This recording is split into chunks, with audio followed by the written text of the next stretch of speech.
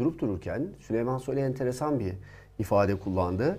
Ki yani Binali Yıldırım'ı e, savunduğu, Binali Yıldırım'a haksızlık yapıldığını söylediği bir ortamda tuttu ve e, biz nelerle mücadele ediyoruz? 2016'dan itibaren İstanbul'da hiç bomba patlamadı dedi. Şu açıklamaya bir bakalım. Hani bayram değil, seyran değil.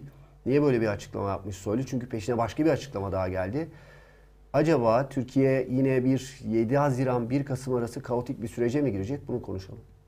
Her iptal Binali Bey'in üzerinden oldu. Öbür taraftan çok az. Binali Bey 17-18 bin yazılmışsa öbür tarafta 1500-2000 yazılmış. Bu kadar açıklar. Şimdi biz ne yapacağız? Kusura bakmayın. Yani dağlarda terörle mücadele ediyoruz. Niçin milletimiz huzur ve rahat içerisinde yaşasın diye.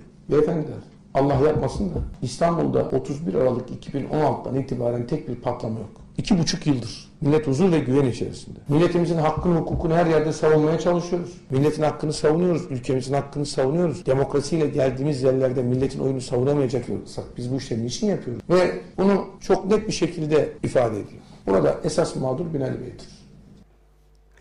Şimdi mesele İstanbul seçimleri. Bunu konuşuyor. Silivri'de bir programa katılmış İçişleri Bakanı.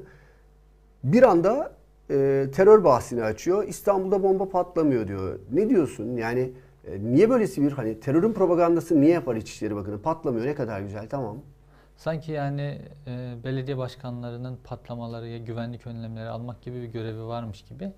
Zaten Sayın İçişleri Bakanlığı'nın Emniyet Teşkilatı'nın görevi bu. Belediye CHP'li de olsa, AKP'li de olsa, MHP'li de olsa, HDP'li de olsa bir yerde bomba patlamamasının e, ya da patlamasının sorumlusu e, İçişleri Bakanı olur, Emniyet Teşkilatı olur. Belediyelerin zaten böyle bir görevi yok.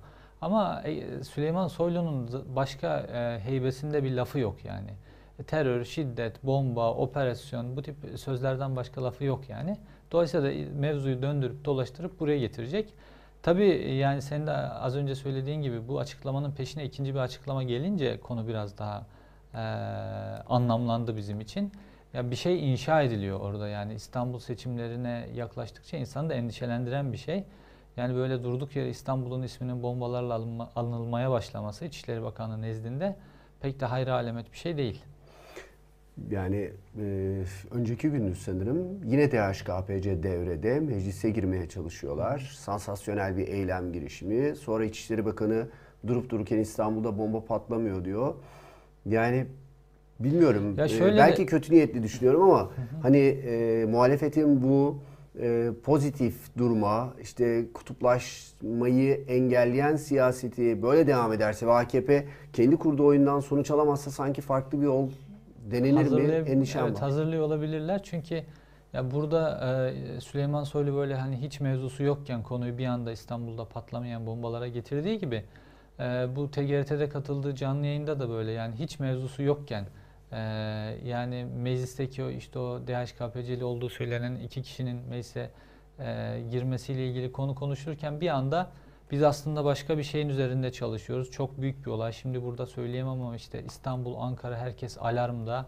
İşte bölgemizi bile ilgilendirecek büyük bir olay gibi laflar söyleyerek böyle yani Türkiye'de sanki çok büyük bir saldırı, çok büyük bir olay olacakmış gibi e, konuşuyor. İnsan tabii bunlar endişeye sevk ediyor. Yani normalde yani ben de polis muhabirliği yaptım geçmişten beri.